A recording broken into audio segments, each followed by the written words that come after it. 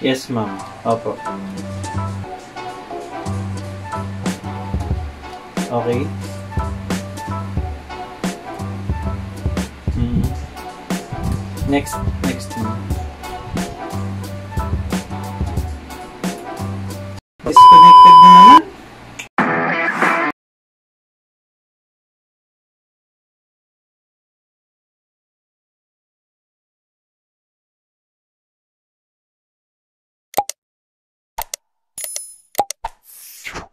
Hey, what's up guys? Welcome back to another tutorial vlog.